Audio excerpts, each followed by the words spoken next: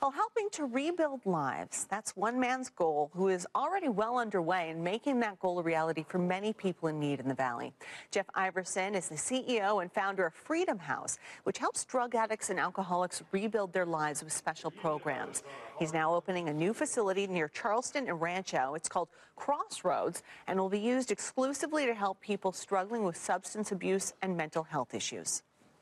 Our goal here as an organization is to take these people and get them clean and sober, address mental illness, and eventually provide a means for them to achieve self-sufficiency.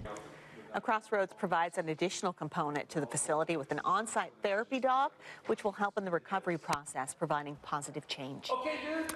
The end of this